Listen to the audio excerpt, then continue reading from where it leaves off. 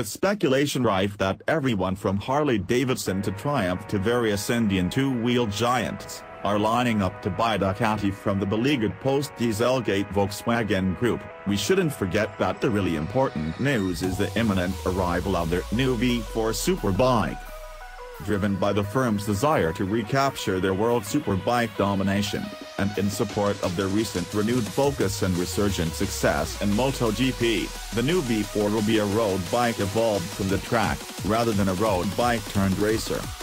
The firm's Panigale has been a rampant success in showrooms, and no slouch on the track in the hands of Shane Byrne and Chaz Davies, but the race department needs access to more than the current 1198cc V-twin Panigale R can muster.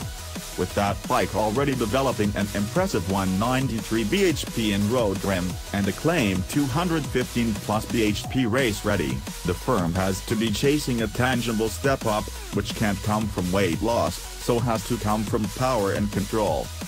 the likelihood is that we'll see more like 205 to 10 bhp in road trim, but over 230 bhp for race teams. With the Panigale's enormous 112mm piston slapping away at 11,750 revolutions per minute, 116mm in the stalker, redlining at 10,500 revolutions per minute, the Super Quadro is already at its